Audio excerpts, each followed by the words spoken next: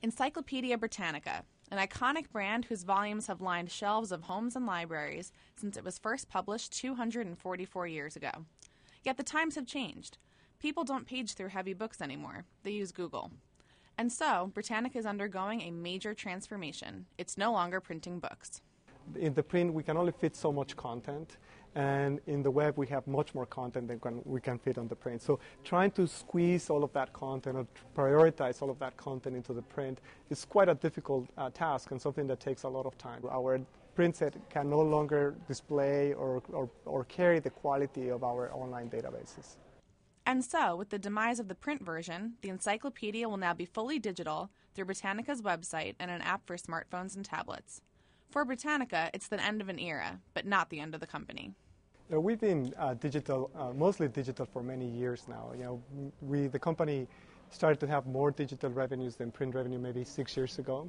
And since then, the revenue of our online uh, services have actually has grown significantly. The majority of our company's revenue is actually from the creation and providing actually e-learning solutions into the classroom, into the elementary and high school market. Consumers already have access to an online competitor of sorts, Wikipedia.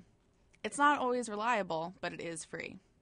Britannica will have to convince customers to pay for its reliability. Obviously, Britannica is all about scholarly knowledge that is brought to the public through an editorial process.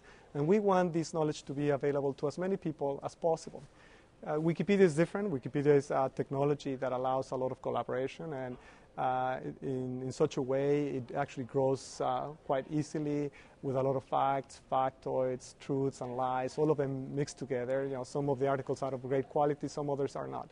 Britannica, on the other side, is smaller in scope uh, we can only allocate editorial resources to those things that are uh, most important for humans to know. So we uh, have a smaller database, but our database is much more reliable, much more stable. We believe that Britannica is one of those sources that you can trust. Even though the printed version is becoming a footnote in Britannica's long history, the company still feels that there's a place for the A to Z encyclopedia in an online world. So the company is growing both in revenue and staff, and this announcement doesn't have any impact whatsoever. If anything, it just allows us to be actually better at creating digital solutions for the general public. For CNN Money, I'm Julianne Pepitone.